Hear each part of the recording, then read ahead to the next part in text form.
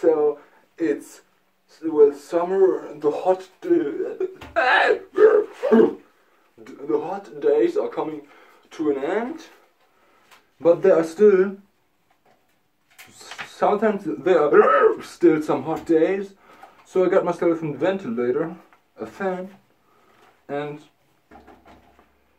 there's no power here. Yeah, as you can see.